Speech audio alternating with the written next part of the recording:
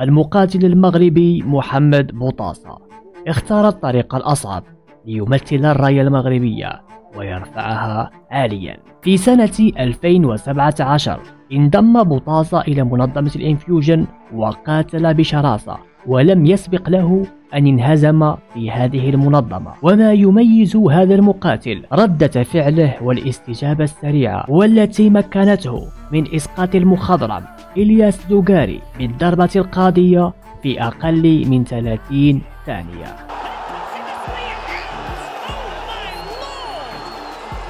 وفي 2020 توج بحزام البطولة العالمية لمنظمة الإنفيوجن على حساب خصمه العنيد. خالد المقدم.